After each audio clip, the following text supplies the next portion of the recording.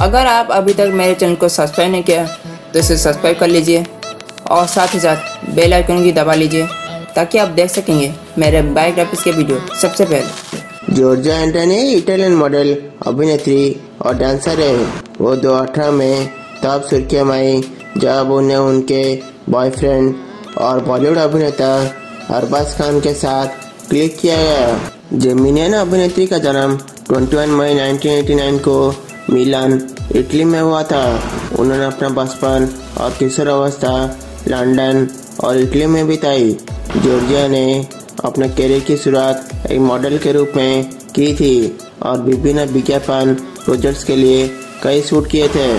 उन्होंने बॉलीवुड में अपनी शुरुआत गेस्ट इन लंडन से की, जो 2017 में रिलीज़ हुई थी।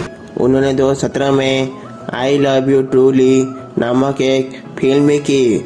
जो एक छोटी और रोमांटिक फ़िल्म है। जॉर्जिया का एक भाई और एक बहन है।